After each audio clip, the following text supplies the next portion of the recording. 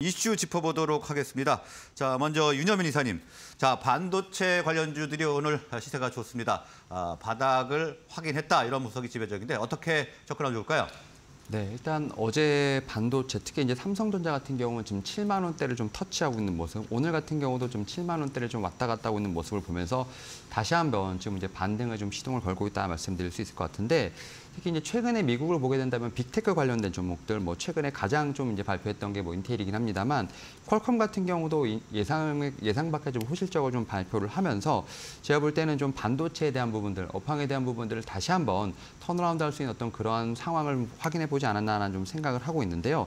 특히 이제 이 퀄컴 같은 경우 3분기 지금 이제 어떻게 보면 실적을 좀 발표를 하면서 매출 같은 경우라든지 지금 영업 이익 자체를 좀 consensus를 뛰어넘는 좀 실적을 좀 발표했다라고 볼 수 있을 것 같습니다. 뭐 이런 측면에서 봤을 때 뭐 삼성전자, SK뿐만 SK하이닉스뿐만 아니라 미국의 이제 big tech 같은 경우도 지금 이제 어떻게 보면 반등에 대한 부분을 좀 더 trigger를 좀 걸 수 있는 좀 그런 실적을 발표했다 말씀드릴 수 있을 것 같고 특히 여기서 이제 우리나라 같은 경우는 좀 고유의 좀 이슈가 있지 않을까 생각을 합니다. 특히 이제 HBM과 관련돼서 상당히 지금 두 회사가 좀 불이 붙은 상황이라 말씀드릴 수 있을 것 같은데 특히 삼성전자라든지 SK하이닉스 같은 경우 3분기 conference call에서 이미 HBM 관련된 얘기를 좀 계속 언급을 하였습니다. 특히 내년 분량 같은 경우 모두 이제 주문이 완료됐다라는 좀 얘기가 나오고 있습니다. 뭐 솔드아웃이라는 얘기를 하면서 결국 HMM에 대한 어떤 수요가 상당히 강하다라는 좀 말씀을 좀 드릴 수 있을 것 같고요. 뭐 그런 측면에서 봤을 때 지금 2024년이 아니라 2025년, 2026년을 좀 바라보는 좀 그러한 상황이라 볼 수 있을 것 같습니다.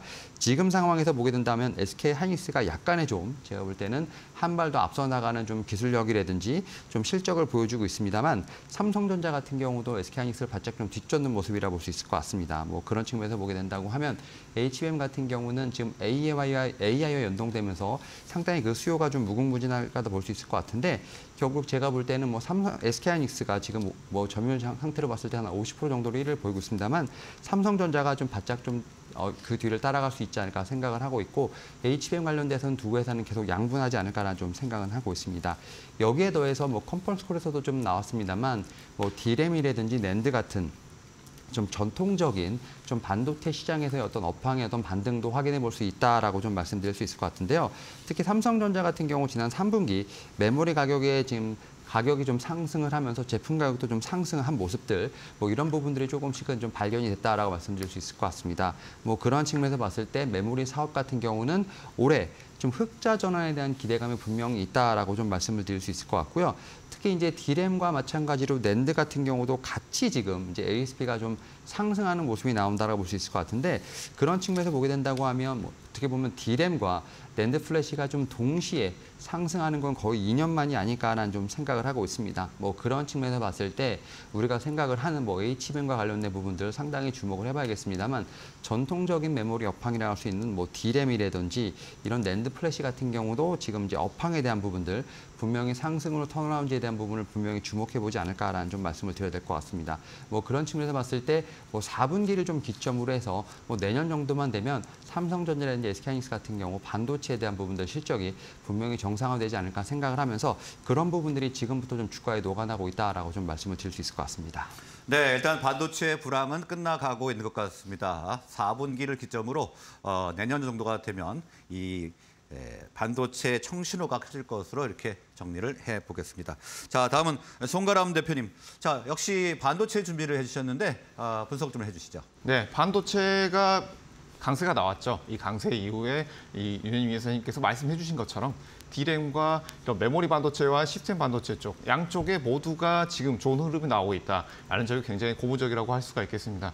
기존 이 메모리 반도체 같은 경우에는 수요가 이런 공급을 따라가지 못하는 흐름 속에서 부진한 모습이 나왔습니다. 하지만 지금 굉장히 고무적으로 양 시장이 모두 올라오고 있다는 점에서 이 하반기 연속적인 상승 흐름을 우리가 기대해 볼 수 있다라는 점을 말씀을 드리겠습니다. 특히 이런 SK 하이닉스의 강한 상승 흐름 이렇게 나오게 된다면 대형주들의 흐름에 따라서 이런 공급사들, 중소형 반도체 주들도 같이 좋은 흐름이 나올 수 있기 때문에 이 점까지 함께 기대해 볼 수 있겠다라는 점도 볼 수가 있겠습니다. 이 반도체주들 같은 경우에는 다른 것보다도 이런 미국의 긴축 정책 어느 정도 마무리가 됐다라는 점을 가장 처음 체크를 해볼 수가 있을 텐데요. 이런 긴축 정책 기대감 속에서 AMD 칩 매출이 긍정적으로 전망을 보고 있다라는 점이 다시 한번 발표가 됐는데요. 이런 점으로 인해서 미국 시장 그리고 AMD의 가격 상승까지 바라보게 된다면 이 매크로적인 이슈로 봤을 때도 좋은 흐름이 나올 수 있겠다라는 점을 볼 수가 있겠습니다. 지금 증시 전체적으로 뉴욕 시장 이후에 FOMC 이후 기준금리 동결이 나오면서 어느 정도 기대감이 많이 부풀어 있는 상황이라고 볼 수가 있겠습니다. 이 기대감 영향으로 가장 큰 영향을 볼 수 있는 섹터 중에 하나가 바로 반도체 섹터라고 할 수 있겠는데요.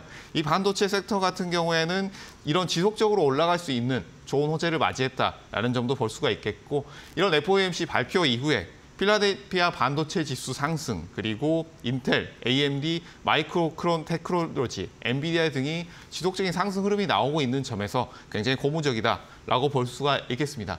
이 AMD 이슈를 하나 더 짚어본다면 이 리사수 AMD CEO는 4분기 AI 칩인 GPU를 매출이 4억 달러 이상 나올 것이다 라는 전망이 나왔고 그 외에도 20억 달러를 돌파할 것이다 라는 전망도 함께 나왔기 때문에 이런 반도체 부분 HBM 그리고 PCB까지 이 분야 전반적으로 상승 흐름이 나올 것이다 라는 점도 함께 말씀드리겠습니다.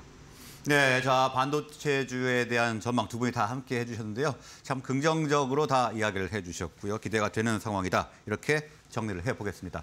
자, 다음은 관심 종목 알아보도록 하겠습니다. 먼저 윤현민 이사님. 네, 오늘은 좀 특이하게 좀 다른 섹터에서 좀 정보를 갖고 왔습니다. 바로 이제 성환이라는 종목이라 말씀드릴 수 있을 것 같고, 제가 뭐 최근에 좀 이제 기업 탐방을 다니고 있는 상황이라 볼 수 있을 것 같은데요. 그런 상황에서 좀 기업 탐방을 다녀온 종목을 좀 소개시켜 보도록 하겠습니다. 이 회사 같은 경우는 원래 이제 섬유 사업을 하는 회사라고 좀 말씀을 드릴 수 있을 것 같습니다. 다만 최근에 좀 신규 사업을 좀 하기 위한 여러 가지 좀 노력을 하고 있다라 볼 수 있을 것 같고, 그 가운데 하나가 바로 이제 히토류가 아닐까라는 좀 생각을 하고 있는데요. 특히 최근에 이런 좀 섬유 사업에 관련된 부분들을 정리를 하고 있고. 또 추후에 좀 제가 볼 때는 이런 좀 히토류 사업을 하기 위해서 좀 외부에서 자금을 좀 많이 끌어오는 올해 같은 경우는 그러한 좀 작업을 좀 많이 하고 있다라 볼수 있을 것 같습니다. 뭐 그런 측면에서 봤을 때 어떤 지금 이제 재무 구조에 관련된 부분들, 사업의 구조에 관련된 부분들이 좀 많이 변화하고 있다라 말씀드릴 수 있을 것 같은데 특히 앞에서 말씀드렸던 이제 베트남 히토류 관련된 부분들, 재련과 관련돼서 특히 이제 설비 투자와 관련돼서 좀 막대한 좀 투자금을 유치를 하고 있다라고 좀 말씀드릴 수 있을 것 같고 그와 관련돼서 제가 볼 때는 이 히토류 관련된 부분들 특히 이제 베트남 쪽에서 지금 공장에 대한 부분들이 지금 가동이 되고 있다라 볼수 있을 것 같은데 이런 부분들 자체가 제가 볼 때는 어, 이 회사 같은 경우 내년부터 어떤 하나의 좀 모멘텀으로 작용할 수 있지 않을까라는 좀 생각은 하고 있습니다. 특히 이제 이 베트남에서 지금 생산되고 있는 히토류 관련된 부분들이 좀 캐파가 상당히 드라마티컬하게 좀 늘어나지 않을까라는 좀 생각을 하고 있습니다. 내년 같은 경우 지금 연간 한 1,800톤, 2025년부터는 5,000톤 이상의 지금 제가 볼 때는 생산 캐파가 좀 제가 볼 때는 좀 만들어지지 않을까라는 좀 생각을 하고 있고 그와 관련돼서 뭐 예출 예상 매출 같은 경우도 내년 같은 경우는 한 2,100억, 뭐 2025년부터는 한 5,800억 정도로 지금 두 배 이상의 매출액이 늘어나지 않을까라는 좀 예상을 하고 있습니다. 여기에 더해서 지금 현재 대구 섬유 공장 같은 경우를 지금 히토르 연구 자석의 어떤 제조 공장으로 지금 이제 변경하기 위한 변경 사용을 좀 추진하고 있다라고 좀 말씀드릴 수 있을 것 같습니다. 결국 이제 히토류뿐만 아니라 히토류 관련돼서 지금 이제 사용할 수 있는 제품까지도 만드는 특히 영구 자석까지도 만들 수 있는 어떤 완벽한 회사로 지금 이제 변화하고 있다라고 좀 말씀드릴 수 있을 것 같습니다. 뭐 그런 측면에서 봤을 때 최근에 좀 자금에 대한 이슈가 있었습니다만 향후에 모멘텀을 봤을 때는 충분히 좀 upside가 있는 회사가 아닐까라는 좀 말씀을 드려볼 수 있을 것 같고요. 지금 가격에서도 충분히 저는 뭐 매수가 가능하지 않을까라는 좀 말씀을 드려보도록 하겠습니다. 목표가 같은 경우는 2,400원, 다만 손절가 같은 경우는 짧게 1,700원으로 좀 말씀드려보도록 하겠습니다. 네. 자, 관심 종목으로 성안 분석을 해 주셨는데 희토류 관련 어, 기업입니다. 목표가 2,400원, 손절가 1,700원 제시를 해 주셨습니다. 자, 다음은 송가람 대표님. 네, 저는 이 kids 산업 관련해서 꿈비를 가지고 왔습니다. 이 꿈비 종목 같은 경우에는 이 회사는 뭐 저출 kids 산업 뿐만이 아니라 저출산 관련해서도 이슈가 많이 있었던 회사라고 볼 수가 있겠는데요. 이런 저출산 관련해서 정책 관련한 종목들을 우리가 지금은 어느 정도 주목을 해볼 필요가 있지 않겠느냐라는 점을 먼저 말씀을 드리겠습니다. 이 저출산 관련해서는 정부에서 지속적으로 앞으로 정책이 나올 가능성이 높다라는 점에서 굉장히 고무적이라고 할 수가 있겠는데요. 이런 정부 정책 뭐 총선을 앞두고 있는 상황이죠. 이런 총선을 앞두고 있는 상황에서는 지금 굉장히 사회적으로 심각한 문제에 대한 정책, 자금이 나올 가능성이 높겠다라는 점을 힌트로 말씀을 드리겠습니다. 지금 상황에서는 저출산 관련된 정책이 강화가 되고 있다라는 점에서 국내 상황에서 더 좋은 흐름이 나올 수 있겠다라는 점을 말씀을 드리겠고 또 한 가지 중국에서도 저출산 관련 움직임이 지속적으로 나오고 있습니다. 시진핑 대통령, 시진핑 중국 주석이 여기에서 인구 감소에 대한 위기감으로 인해서 5년간 지원을 늘리겠다라는 이슈도 나오고 있는 상황이기 때문에 여기에서 우리가 한국의 이슈, 중국의 이슈까지 지원금이 늘어나는 이슈를 함께 체크해 볼 필요가 있겠다라는 점을 말씀을 드리겠습니다. 이 꿈비 회사 같은 경우에는 이 하나의 소스를 가지고 원소스 멀티 유즈를 통해서 캐릭터와 브랜드로 다양한 사업을 영위하고 있기 때문에 앞으로 더욱 우리가 주목해 볼 회사다라는 점도 함께 말씀을 드리겠습니다. 지금 가격대 뭐 저출산 관련 기업들 전반적으로 바닥권을 유지를 하고 있는데요. 여기에서 지지되고 좋은 흐름이 나오기, 오고 있기 때문에 지금 가격대도 충분히 접근이 가능한 가격대다라는 점도 함께 말씀을 드리면서 매수가는 9,300원 그리고 선절가 8,400원 목표가는 11,000원을 제시해 드리도록 하겠습니다. 네, 저출산 관련주 꿈비 예, 관심 종목 분석을 해봤고요. 목표가 11,000원, 손절가 8,400원 제시를 해주셨습니다.